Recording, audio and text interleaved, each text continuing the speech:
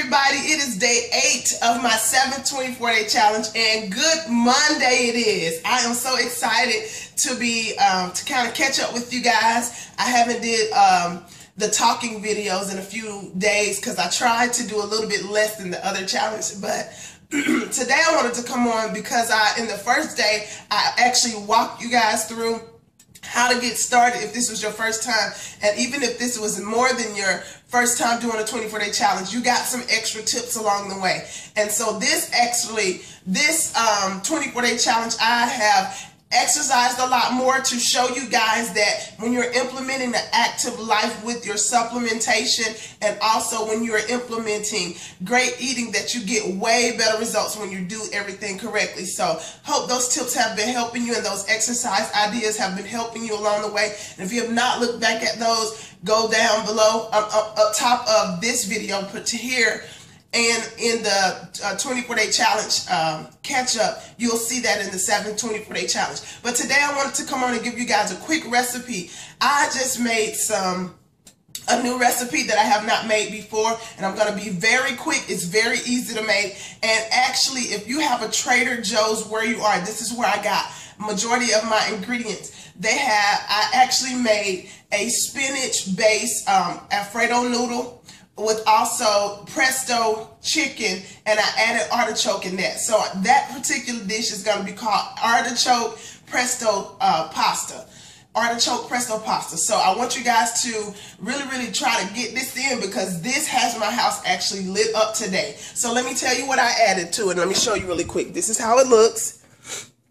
And guys, this is not Alfredo based. This is, when I tell you guys, this stuff has my house smelling amazing. So this is going to be about three, actually three to four dishes for me. And what I added to that is um, Trader Joe's. I'm going to add some pictures to the slide, so make sure you look at those to see exactly what the ingredients look like. I added some mint, some um, garlic powder. I added some spinach linguine, linguine noodles and I added some presto chicken. The presto chicken was already pre-made at Trader Joe's and it actually is tasting amazing and the sodium intake was not high at all. And if you know Trader Joe's, they have healthier, better ingredients. And I also added some artichoke. Okay, so I also would add that picture. Let me show you what that looks like actually because this is the thing that really, really made the dish. So the artichoke looks like this and it actually is based in in um, olive oil. So of course it gave the, the pasta that um, oil taste that that oil that it needed so the pasta wouldn't stick together and it also gave it that extra kick and that boost and I added a little vegetable broth as well I added a little bit of minced onion and I added broccoli. You if you're a person that likes mushrooms if you're a person that like a lot of vegetables in your pasta you can do so. This is not alfredo base. The base came from the juice of the meat. So when I bake the meat in the oven at 300 it has a lot of juice and a lot of flavor in it. So I just poured that into the pasta because it has also has the oil from the the um, artichoke and the chicken and then the broccoli. I put a little um, vegetable broth in that so while it cooked and it steamed it came out amazing and I added the artichoke in while I was cooking the broccoli. So there you have it. I hope you guys have an awesome recipe that you will like and I, I promise you this is probably going to be one of my favorite pasta dishes the healthy way. When you eat pasta you don't have to eat it wrong. So day 8 is complete. I've been eating very clean guys. I've been eating a lot of salmon.